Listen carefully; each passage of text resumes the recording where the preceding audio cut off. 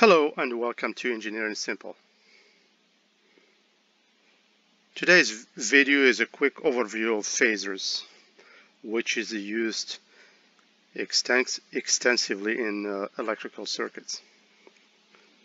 So let's say we have a, a, a voltage signal that changes with time, which is written as the peak of the voltage value times the cosine 2 pi times f times t plus theta v. Theta v is the phase angle of voltage, t is time, f is frequency in hertz. So this is a sinusoidal signal. The RMS value of the voltage is the peak value of the voltage or max value of the voltage divided by the square root of 2 and this is only valid for sinusoidal vo uh, voltages. If it's not a sinusoidal voltage, you cannot use this uh, equation. RMS is just root mean square.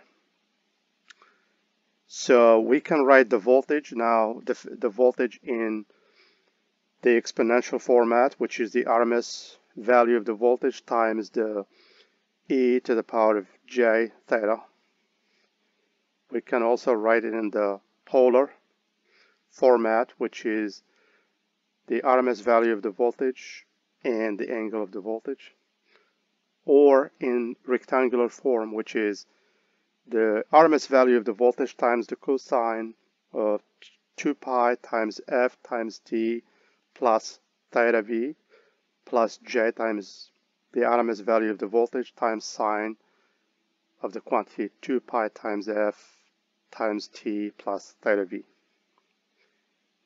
So note in AC circuits, the subscript RMS is usually dropped. So if you don't see RMS, assume it's RMS.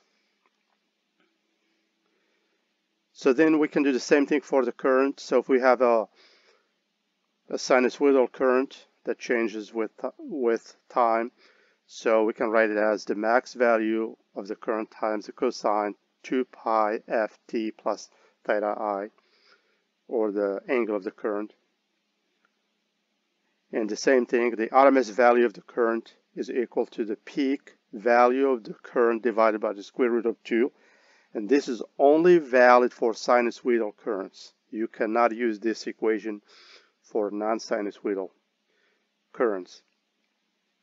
So then we can write the current in the exponential format, which is the RMS value of the current times e to the power of j theta. We can also write it in the polar format, which is the RMS value of the current and the angle, or in the rectangular format, which is the RMS value of the current times cosine quantity 2 pi times the frequency times time plus theta plus j times the RMS value of the current times sine of the quantity 2 pi times frequency times time plus theta. Thank you for watching this video and don't forget to subscribe to Engineering Simple to receive more videos.